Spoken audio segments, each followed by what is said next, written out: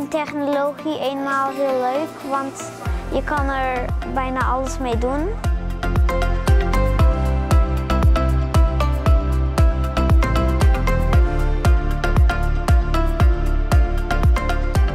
Mijn presentatie ging over eh, spelletjes en teamonderzoek. Ik heb het verteld over kunstmatige intelligentie en daarbij heb ik aangegeven wat je ermee kunt en waar je op moet letten.